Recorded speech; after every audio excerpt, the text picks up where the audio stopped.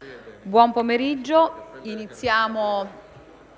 la seduta del question time, approfittiamo dell'arrivo dell'assessore Cecchini, se siete tutti d'accordo eh, lo facciamo eh, iniziando dalle sue, dalle sue interrogazioni.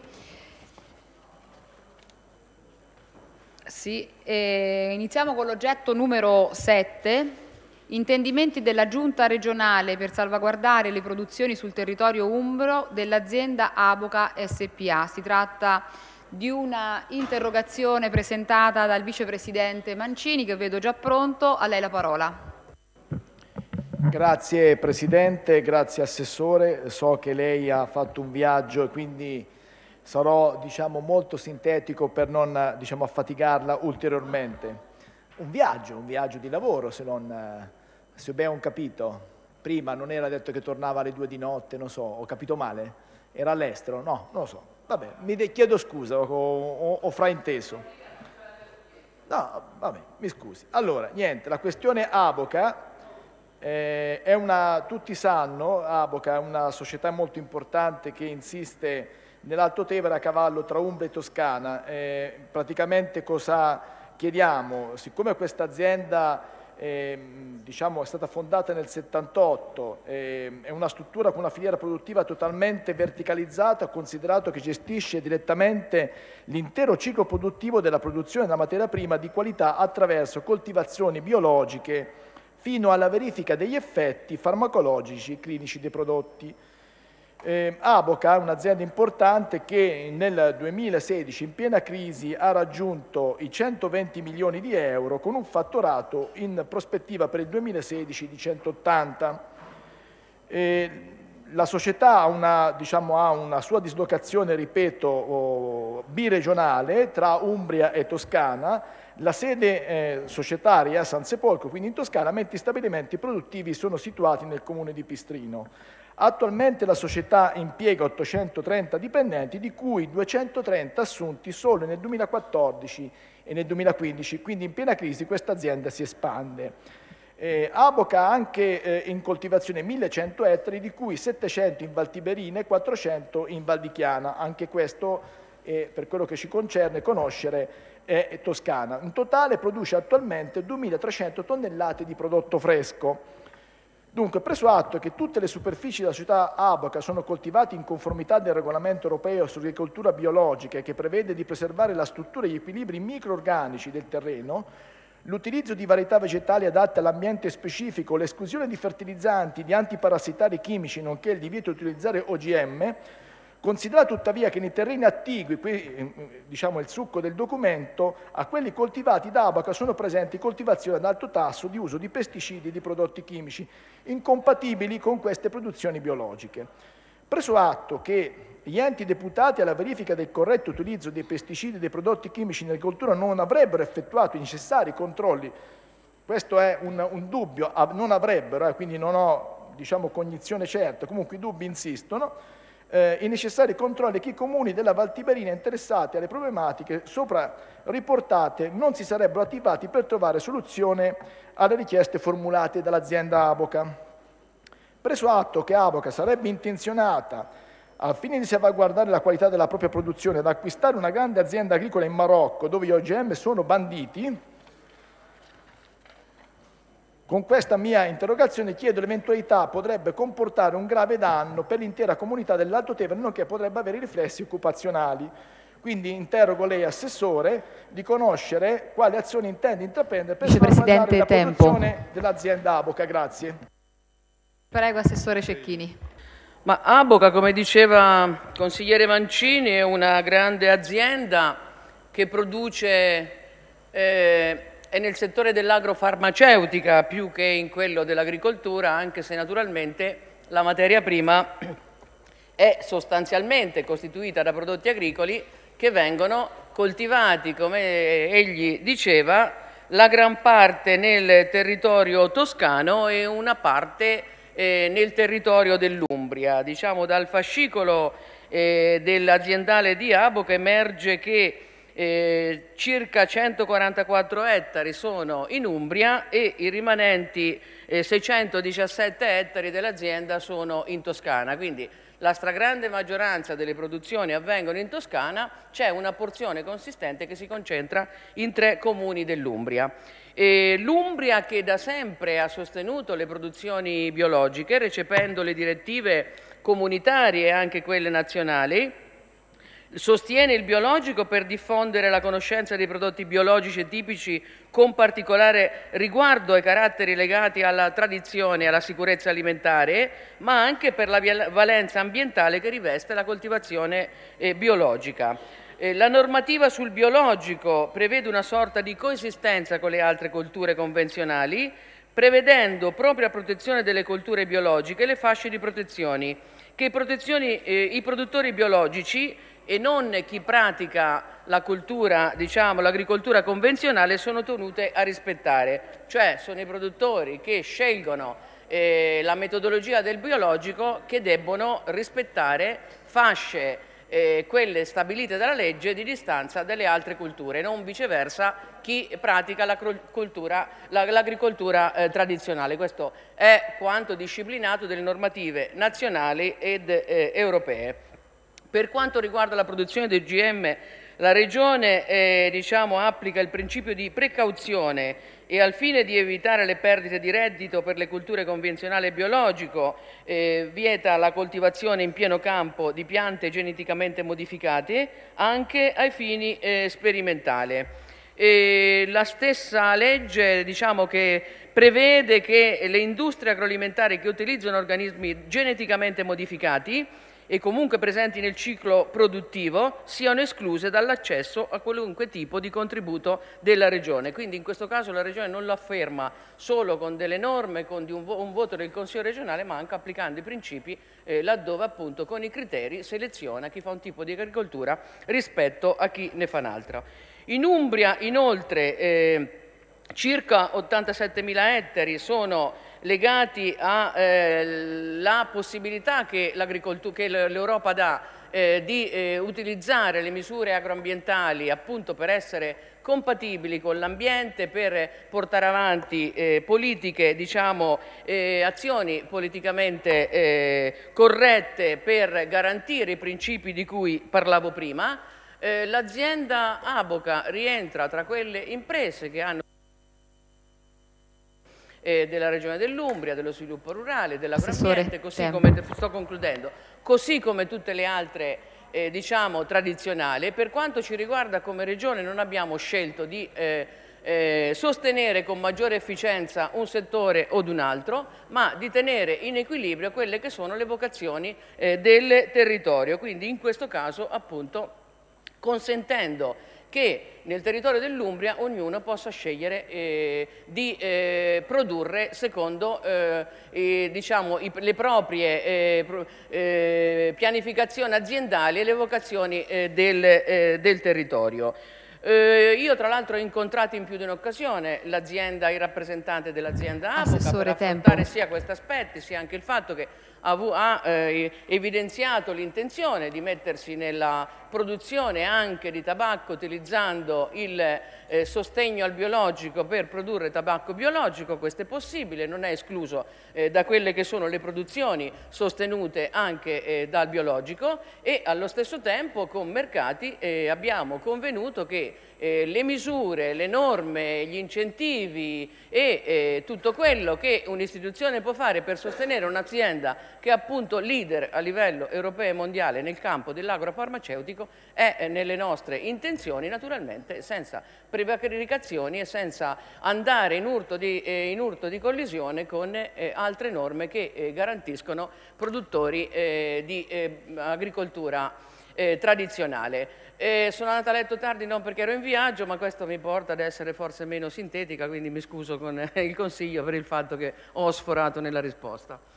Grazie Assessore, il tempo stringe perché sap no, sapete mi, che è contingentato mi, solo no, per scuso, le riprese, semplicemente per questo. di un viaggio di lavoro, quindi mi dispiace, no, vabbè, quindi è una parentesi. No, le volevo dire, eh, Assessore, lei eh, in pratica mh, diciamo, esprime una neutralità di comportamento della Giunta e della sua azione tra l'agricoltura tradizionale e quella emergente eh, biologica. Eh, tuttavia i dati sarebbero interessanti da stimolare perché questa azienda da sola ha creato una marea di occupazione. Io devo dire che lei, come poc'anzi ha ricordato, è intervenuta in ritardo rispetto alla denuncia del dottor Mercato Valentini che nel comunicato stampa del 22 di agosto diceva la crociata eh, diffida 40 agricoltori dal, dai pesticidi, minacciano la nostra produzione. Il primo intervento lei l'ha fatto esattamente 5 mesi Questo dopo. Questo lo deve dire ARPA però che certifica se è vero o meno che le bene, acque e le falde sono inquinate. Non il primo imprenditore che si sveglia la mattina. Possiamo aprire un dibattito. Il 7 gennaio 2016 lei eh, ha, eh, insieme al sindaco Bacchetta del comune di Città di Castello che assolutamente non è interessato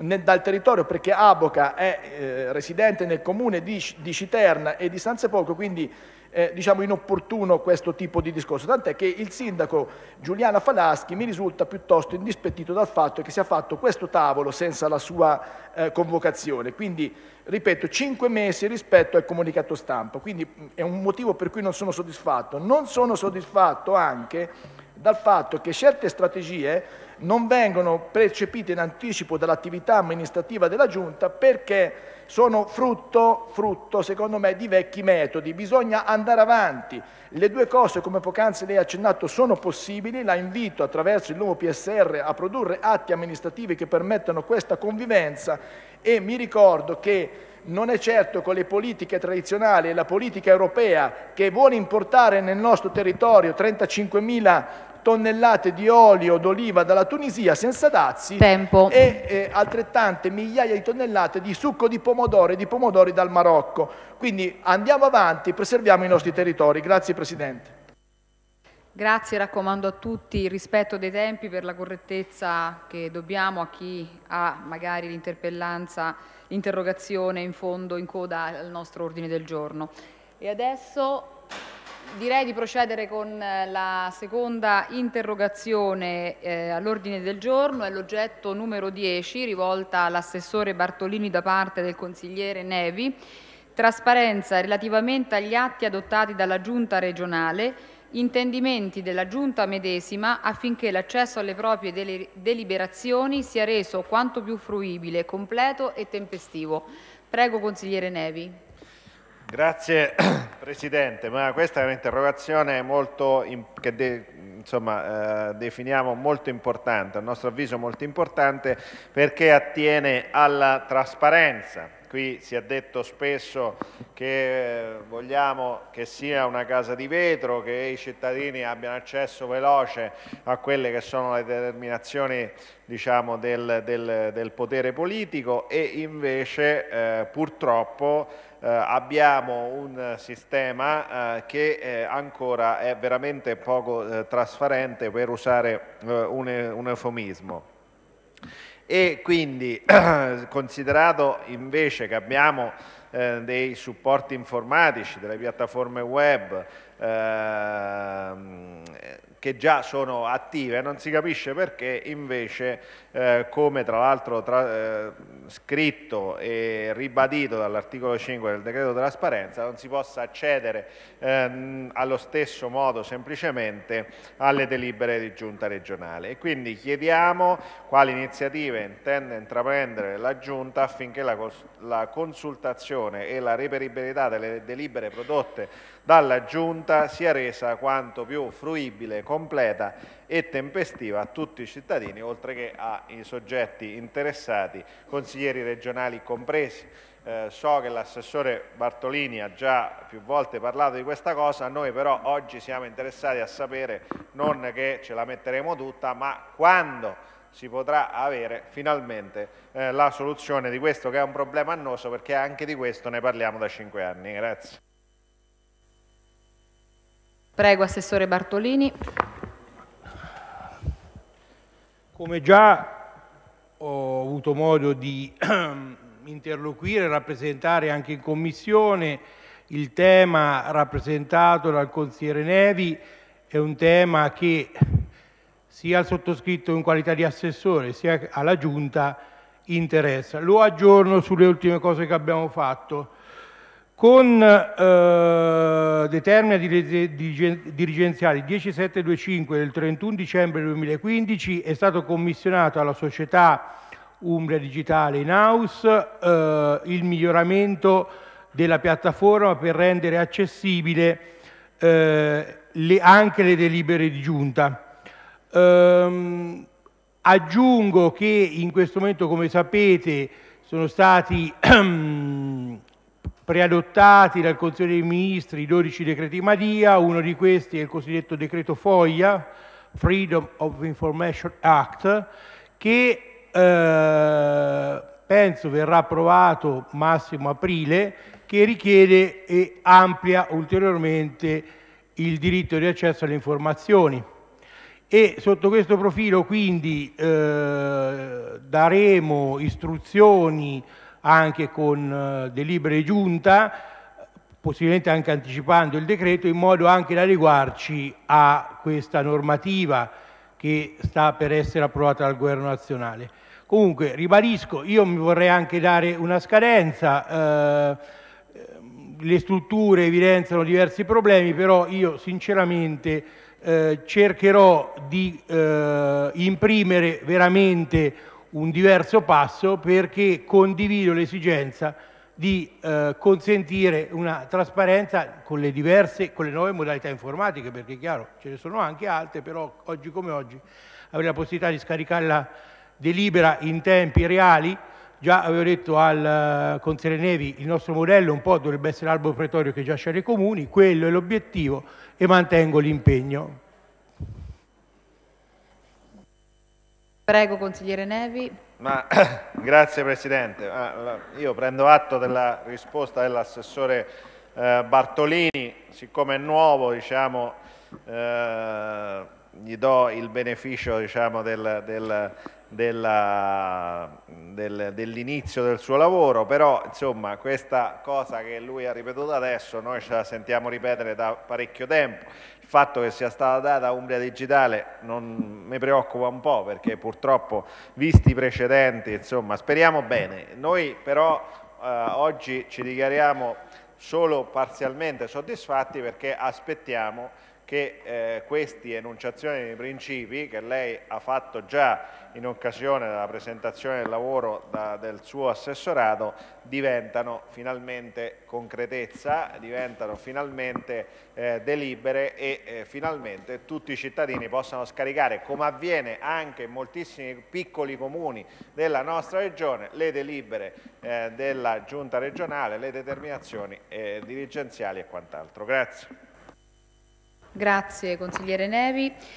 Direi di saltare adesso l'oggetto numero 15 per l'assenza della Presidente Marini impegnata con il Procuratore Caselli e il Procuratore Gardella in un'iniziativa sulla sicurezza sul lavoro e di passare all'oggetto numero 16 rivolto dal um, consigliere Leonelli all'assessore Cecchini futuro dell'ex cinema Turreno di Perugia, informazioni della Giunta regionale al riguardo. Prego consigliere Leonelli.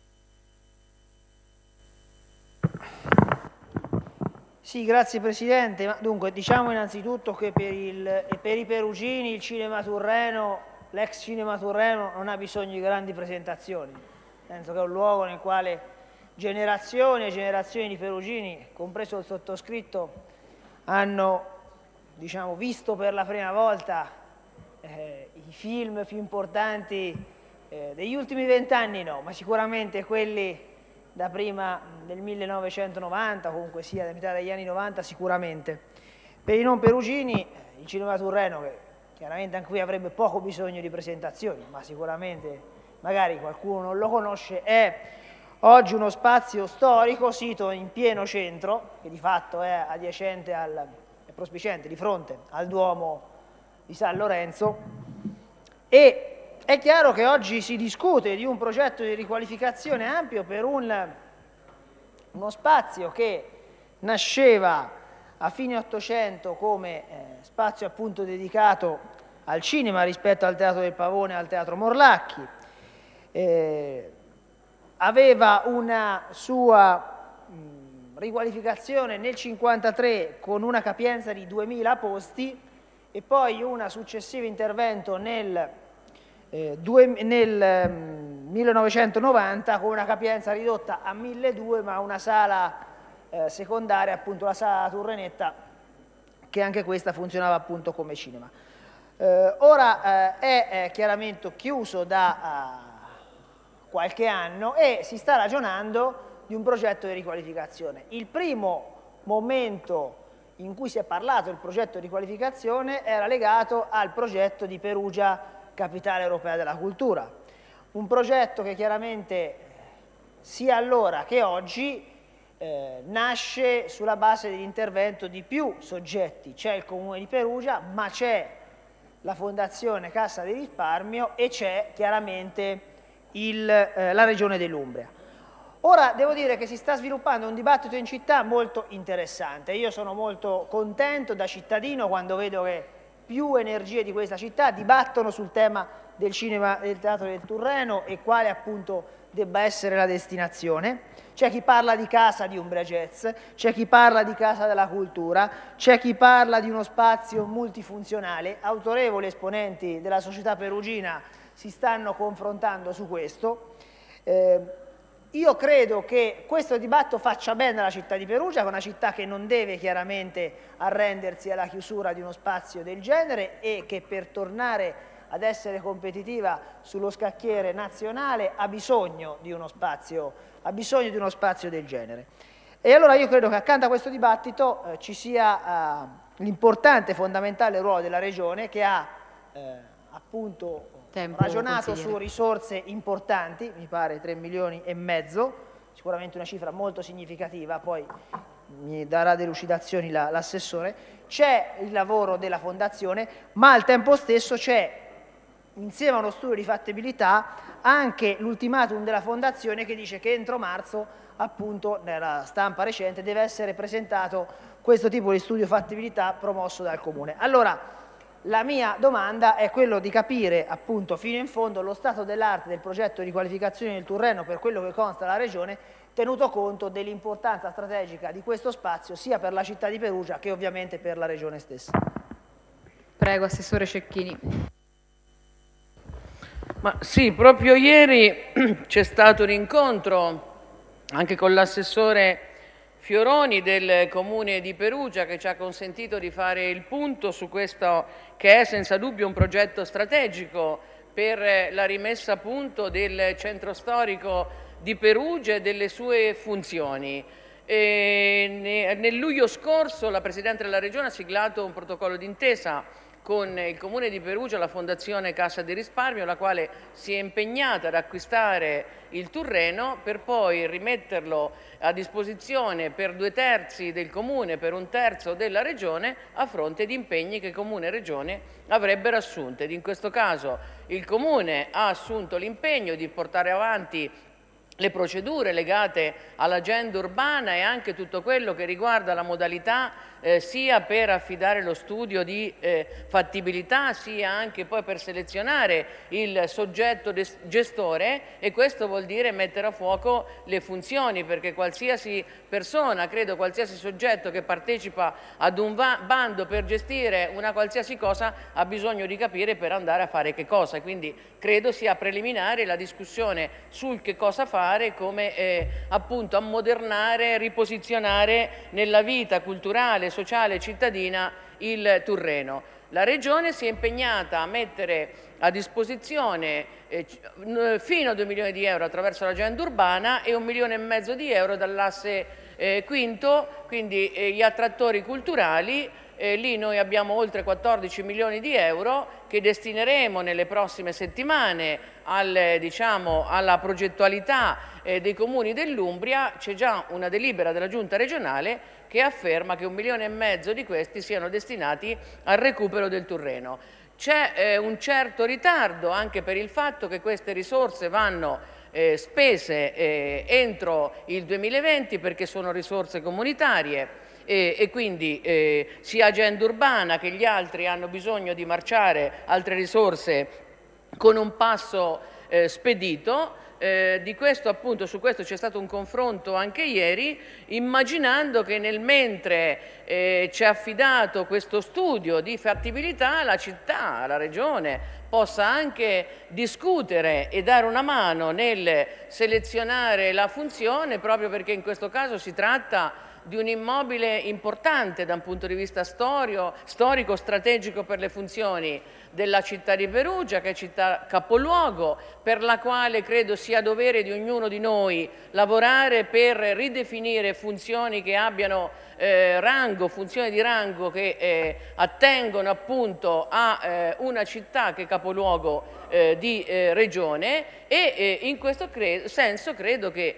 quella dialettica che è aperta qui, aperta altrove, possa concludersi nei tempi più stretti possibili per poi andare avanti e individuare qual è la destinazione più adatta sapendo che questa è una regione che ha una città capoluogo particolare con dei luoghi dove si può fare cultura, spettacolo, teatro, Tempo, cinema, assessore. ad esempio, concludo, che vanno dai 500-600 posti del Pavone al massimo 800 posti del eh, Teatro Morlacchi, che è una regione che prevalentemente vive d'estate perché ha grandi luoghi aperti per ospitare, per fare diciamo, sia cultura che eh, eventi legati anche alle, eh, eh, ai gusti, alle dinamiche più eh, dei giovani, credo che anche di questo si debba tener conto nel momento in cui si rimette a fuoco la funzione di un luogo che è strategico per Perugia rispetto al quale io credo si debba ragionare immaginando anche tutto quello che c'è oltre al Turreno di beni culturali, di attività commerciali,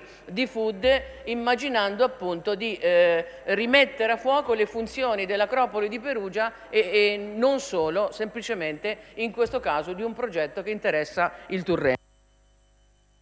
Prego, consigliere Leonelli. Sì, ringrazio l'assessore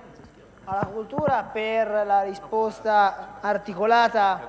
sul tema. Io credo che dalla risposta eh, emerga sicuramente la volontà della Regione dell'Umbria di investire sia delle risorse ma anche politicamente soprattutto su, su questo progetto che è un progetto chiave per eh, la città di Perugia e il rilancio del capoluogo appunto nello scacchiere nazionale magari anche internazionale. Per questo Credo che sia importante, accanto alle risorse ingenti che mi sembrano condizione necessaria per la riqualificazione eh, del Turreno che metterà la Regione, anche un'attività un, eh, tesa allo stimolo della risolutezza del Comune di Perugia nel eh, eh, percorso progettuale. Eh, credo però contestualmente che le forze politiche, a cominciare dal Partito Democratico, debbano avviare una fase di discussione e comunque anche di eh,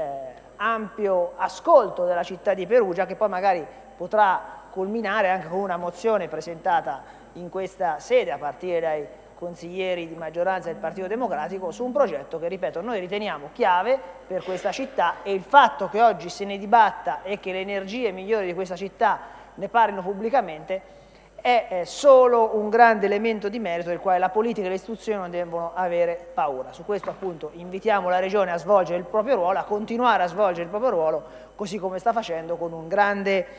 apporto sia dal punto di vista economico che dal punto di vista politico.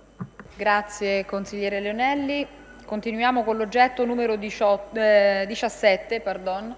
si tratta di una interrogazione presentata dai consiglieri Liberati e Carbonari e rivolta all'assessore Cecchini. Informazioni della Giunta regionale riguardo al progetto di razionalizzazione del sistema di gestione della relativa viabilità di collegamento della discarica di Borgo Giglione in territorio del Comune di Magione, intendimenti della Giunta medesima riguardo alla necessità di immediato avvio della realizzazione di una nuova discarica urbana di Terni. Prego Consigliere Liberati. Sì, salve. Nel titolo c'è un errore eh, non eh, commesso da noi e dunque eh, ci riferiamo alle eh, situazioni che conosciamo bene che toccano da nord a sud l'Umbria, le criticità ampiamente certificate eh, nel sistema rifiuti, oggetto peraltro di una commissione d'inchiesta anche in questa regione, Qui in particolare richiediamo eh, una riflessione su due punti. Il primo riguarda la razionalizzazione del sistema di gestione appunto, rifiuti e della viabilità di collegamento di Borgo Giglione, Magione, Perugia, una discarica importante per il capoluogo regionale, e eh, perché eh, in appena due mesi, a seguito del progetto presentato da TSA, peraltro oggetto di interdittiva antimafia, peraltro oggetto di indagini della, della Procura distrettuale eh, antimafia e, e quindi insomma non proprio dettagli, dal 22 settembre a fine novembre la Regione dell'Umbria ha consentito a TSA di avere il via libera sul progetto, eh, come, dire, come se nulla fosse, tutto ok, ma non sono stati acquisiti i pareri delle belle arti, non è stato risposto al comitato eh, osservatorio di Borgo Giglione, abbiamo qua ovviamente tutta una serie di criticità che potrei leggere una ad una, Arpa Umbria che ha eh, evidenziato il problema del bioreattore, su cui c'è stata finalmente una presa di posizione da parte della Regione, ma su tutto il resto si va avanti come nulla fosse. Eppure eh, queste indagini dovrebbero anche imporre una riflessione sugli effettivi conferimenti in discarica perché sono oggetto eh, del progetto di TSA. Poi c'è l'altro elemento altrettanto simpatico eh, relativo a quanto accaduto alla discarica, ex discarica urbana di Terni, dove mancando un impianto di trattamento del percolato eh, grandemente concentrato diciamo, di, da ammoniaca, il percolato per anni sia della discarica, ex discarica urbana eh, che di quella ThyssenKrupp è finito per anni, decenni, nel fiume, nel fiume Nera, nelle falde acquifere. E anche qui naturalmente tutto bene, ma soprattutto la, la vicenda ha assunto del grottesco perché il Comune di Terni con la sua giunta per ben 13 volte ha deliberato frazionando mensilmente eh, diciamo, l'importo, evitando quindi la gara europea e eh, assegnando direttamente l'appalto, eh, 42 dei termini ci sono state da parte dei dirigenti, alla fine è intervenuta la magistratura e eh, oggi c'è la turbata libertà degli incanti e abbiamo scoperto che però un impianto di trattamento costava tra i 200 e i 600 mila euro, quindi sono stati buttati via 5 milioni di euro con cui avremmo potuto fare a Terni, in Umbria e tante altre cose. Quindi cosa, chi, cosa si chiede all'assessore? Se questo progetto di SA su Borgo Giglione, eh, che ha avuto il via libera, insomma in base a quali informative e analisi lo abbia, avute, lo abbia avuto e se non sia stato intempestivo soprattutto in relazione a quanto accaduto sia a opera della prefettura che da parte della Procura distrettuale antimafia, nonché per quanto riguarda il caso Terni, se la Regione non voglia intervenire con, una, uh, con un atto di urgenza, con un'ordinanza per avviare immediatamente un impianto di trattamento del percolato senza mandarlo in giro con tutti i rischi che ciò comporta e eh, senza spendere altri denari con affidamenti diretti illegali. Grazie. Prego, Assessore. Sì, il consigliere Liberati, anche forse per mantenerci più svegli, ama spesso mischiare le cose, quindi mettere insieme le pere con le mele e anche a volte le mele con le noci, intendendo dire che un conto è tutto quello che riguarda la richiesta di legittimità degli atti che attengono eh, le determine che hanno riguardato Borgo Giglione ad inizio anno, Altra cosa, le vicende più ternane che stanno in capo alla responsabilità del Comune, a noi non risulta eh, né alcuna richiesta di ampliamento di discariche né alcuna richiesta per il trattamento del percolato a livello regionale e eh, gli uffici eh, lavorano sulla base appunto di quello che sono e la Regione, quindi le nostre competenze o eh, l'attivazione di procedure laddove siamo eh, chiamati in causa. Però eviterei dire, di eh, mettere insieme tante cose che tra loro hanno anche pochi elementi in comune per complicare ancora di più un tema e un settore, quello dei rifiuti, che è eh, delicato, difficile, che va affrontato prendendo le cose dal verso giusto. Il consigliere chiedeva eh, se è tutto regolare, di fatto se gli atti che sono stati eh,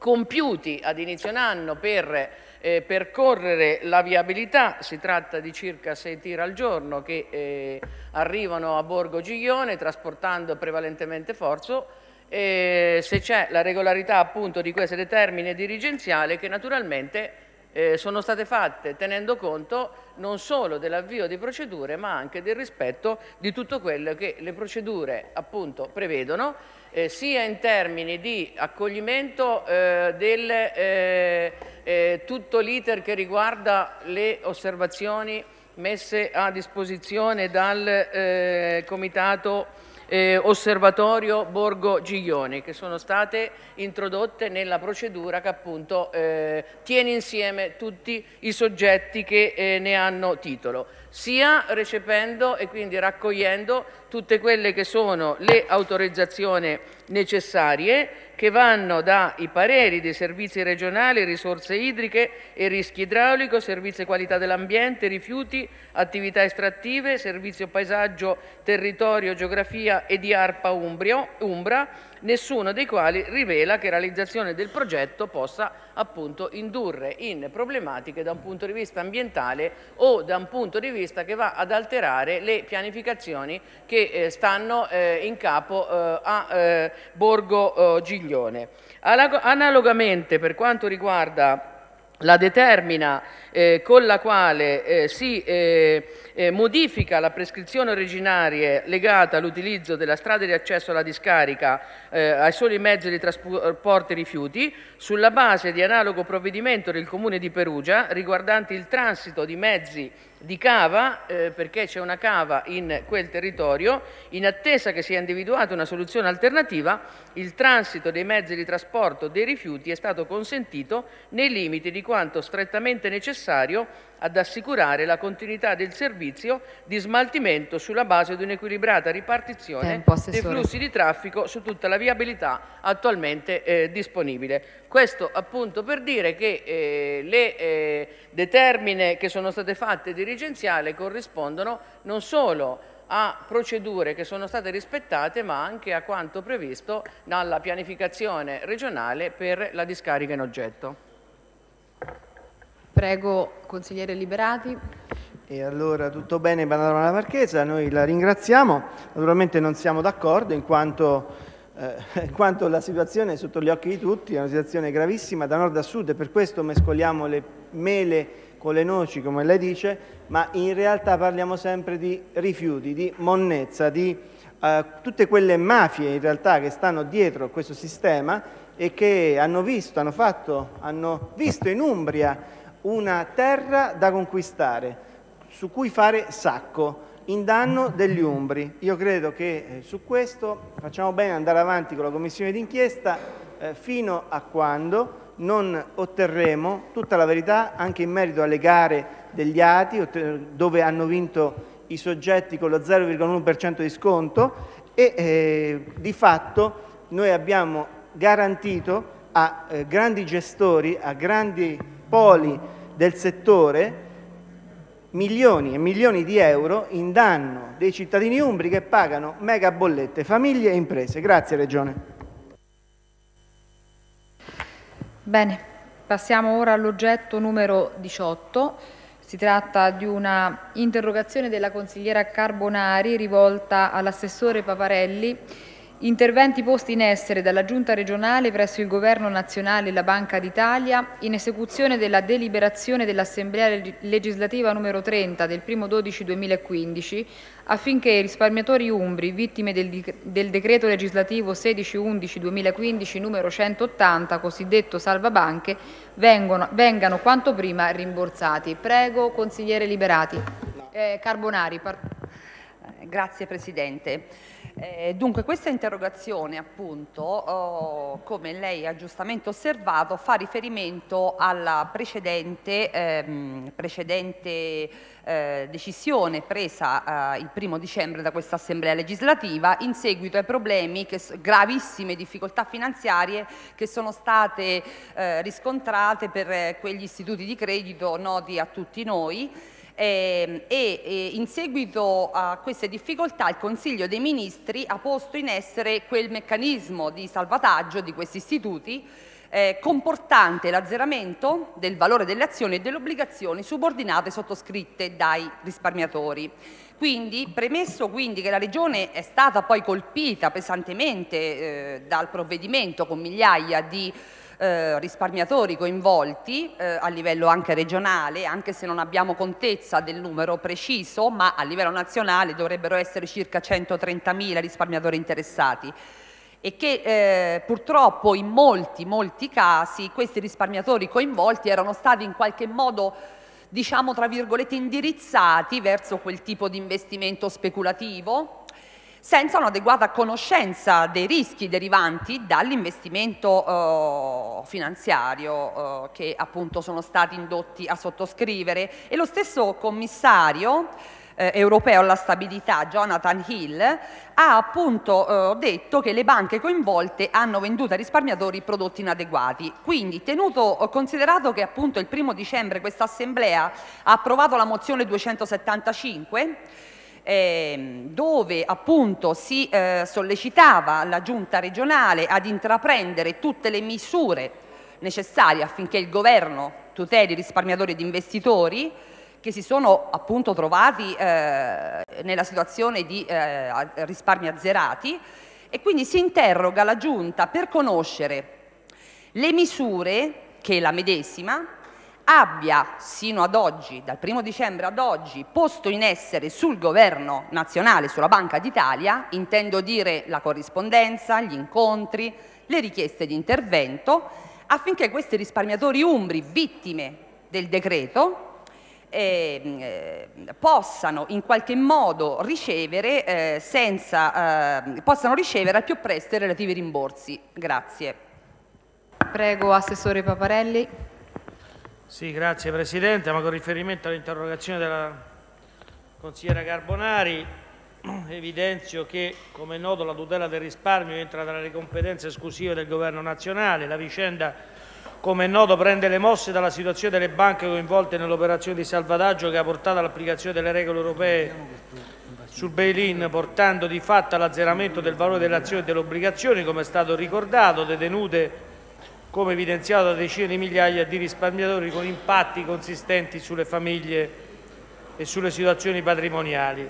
delle singole persone. La Regione, come del resto molte altre realtà territoriali e regionali, ha sensibilizzato in primo luogo il Governo rispetto, sede anche di competenza de, delle Regioni, rispetto alla delicatezza della situazione, agli impatti sul territorio che questa situazione sta generando, sollecitando anche l'adozione del provvedimento che potrà consentire l'indennizzo dei danni subiti dalle fasce più deboli della popolazione. A questo scopo, d'intesa con i governi regionali delle regioni maggiormente coinvolte, la Regione Umbria sta valutando le modalità per poter supportare i consumatori nel percorso legale finalizzato al riconoscimento dei loro diritti. Questo potrebbe avvenire ad esempio attraverso la previsione di un intervento da inserire nel contesto di bilancio di previsione 2016 con la costituzione di un fondo destinato a coloro che in questo momento stanno avendo i problemi ben noti sulle banche e che hanno un reddito ISE inferiore ad un parametro che sarà stabilito tenendo conto delle necessità di supportare le fasce più deboli della popolazione colpita. Attraverso questo intervento tali vorremmo infatti, per tali persone vorremmo infatti poter attivare un sostegno per le spese legali che dovranno supportare i fini del recupero di quanto perduto. È un gesto di attenzione che la Regione intende realizzare rispetto alle famiglie interessate nei limiti delle competenze ovviamente che sono proprie della Regione stessa. Questo potrebbe essere un atto concreto che va ad aggiungersi a quanto fatto dal Governo nazionale con l'emendamento alla legge di stabilità che ha portato alla creazione di un fondo di 100 milioni. Con l'auspicio che sia fatta chiarezza ovviamente sulle responsabilità, vogliamo ricordare di nuovo come il decreto abbia consentito di salvaguardare anche migliaia di posti di lavoro e un milione di clienti. Allo stesso tempo però siamo colpiti Ovviamente esprimiamo la massima solidarietà e il massimo sostegno nell'ambito delle nostre competenze a quei risparmiatori che hanno visto il loro patrimonio investito in buona fede in obbligazioni subordinate. Io per questo, diciamo, oltre che la predisposizione, la valutazione della predisposizione della misura a cui ho fatto riferimento, penso che noi dovremmo fare una seria riflessione approfondita, magari anche in sede di commissione, su come, su qual è il rapporto tra l'utente consumatore e la banca. Perché qui sul tema dell'informazione, della trasparenza, del rispetto dire, di una carta dei servizi che deve mettere in chiaro quando ci si rivolge a un utente, a un piccolo risparmiatore, come ci si deve comportare, io penso che ci sia anche uno spazio di ragionamento rispetto al quadro delle nostre competenze su cui vale la pena di approfondire il ragionamento. Grazie. Prego, consigliera Carbonari. Eh, grazie. Allora sì, eh, sono al corrente eh, di questo fondo, fondo predisposto dalla Regione a sostegno dei risparmiatori coinvolti, però oh, ho avuto modo di leggere, mi sembra un, diciamo, un, ehm, molto fumoso no? ancora, probabilmente vedremo poi l'effettività e come verrà strutturato questo fondo perché ehm, sicuramente ci sono dei principi ma non abbiamo la contezza dell'ammontare del fondo, eh, verrà attivato quindi nel prossimo bilancio 2016. Eh, parliamo chiaramente dell'indennizzo eh, delle spese legali eh, di quei risparmiatori che ricorreranno, eh, appunto, che tenteranno, ehm, diciamo che, intenterà, che eh, provvederanno ad intentare una causa civile. E anche qui però facciamo riferimento, anche in questo caso, a un valore di sé che non si conosce, quindi eh, il dubbio qual è? È che magari eh, il valore di sé costituisca eh, una barra eh, e quindi pochissimi saranno i soggetti che veramente eh, potranno usufruire di questo fondo perché chi non ha, poi chi ha un livello di sé molto eh, basso neanche ci proverà ad intentare una causa civile.